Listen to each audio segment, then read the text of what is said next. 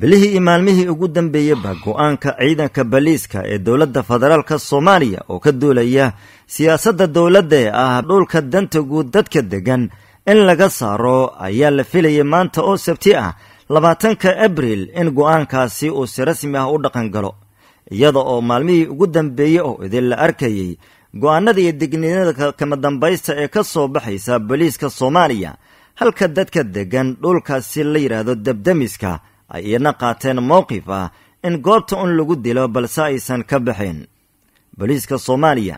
mowqifkii laga filaya maanta inay ka mir dhaliyaan umay suuro gelin kadib markii siyaasiyiin uu ka mid yahay madaxweynaha dowlad goboleedka galmudug axmed cabdi kaariyi qoorqoor iyo xubno isugu jira wasiiro senataro iyo xubno golo shacab ah balse matala dadkaasi ay gaashaanka u daruureen go'aanka booliiska ee ah in dadka xitaa awood looga saaro dhulkaasi. Waxaana baaqsaday guud ahaan go'aankii la filayey in maanta uu dhaqan galo. Dhinaca kale waxaa la filayaa in si wada jir ah ay war u soo saaraan guddi matalaya dadkaasi rayidka iyo dowladda federaalka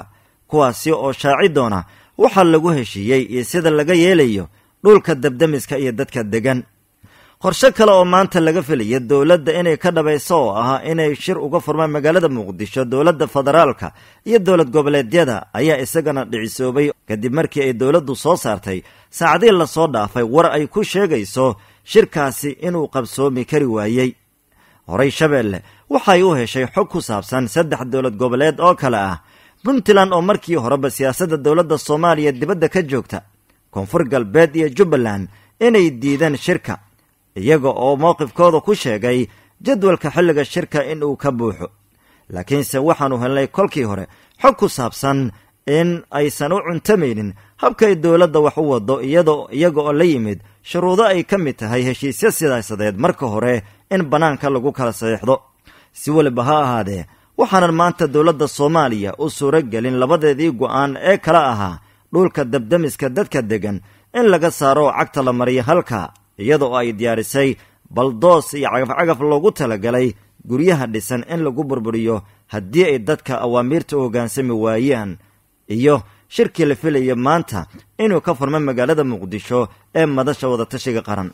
In ku dhow hal sano ma aysan jirin dowladda federaalka iyo afarta dowlad goboleed ee markii horeba wada shaqaynta joogtada kala dhexaysay ee kale ah galmudug hirshabeelle koonfur galbeed iyo jubbaland maadaama puntland iyo dowladda madaxweyne xasan sheikh horay gacan bidix ay isugu salaameen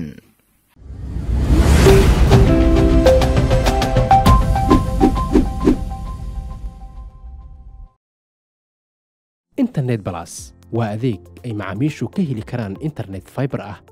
oo xawaarihiisu yahay labaatan megabytes ber second. Ayna la socdaan rasiifar ay ku jiraan in ka badan afar kun oo kanaal iyo boqolaal daqiiqado oo ah ku hadal bilaash ah